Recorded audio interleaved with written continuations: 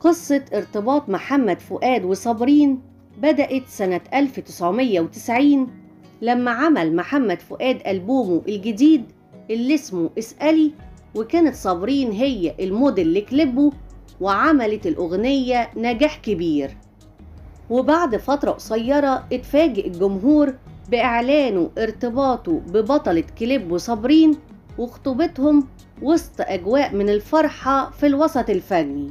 ومجلة الكواكب حطت صورتهم على الغلاف وكتبت أحدث عروسين صابرين ومحمد فؤاد وكل الصحف والمجلات والجرايد كتبت عن الخبر وحطت صورهم. لكن للأسف الخطوبة دي ما طولتش وانفصل الثنائي في سرية تامة بعيد عن الأنظار والصحف والجمهور وما قالوش السبب.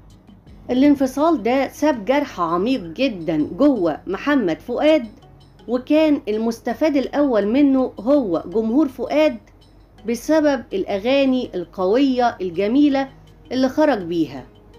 محمد فؤاد داخل الاستديو فشاف مغني مش معروف اسمه مجدي ربيع جاي يسجل أغنية اسمها هودعك من كلمات مصطفى كامل وألحان حسن دنيا وعجبته الأغنية جدا.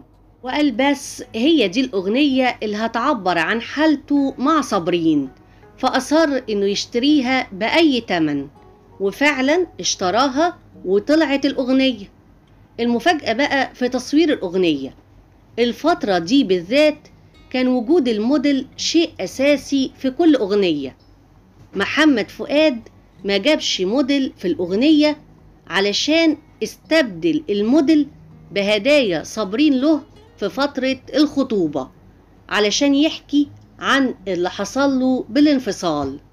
والكليب فعلا حقق نجاح غير متوقع حتى بالنسبة لمحمد فؤاد.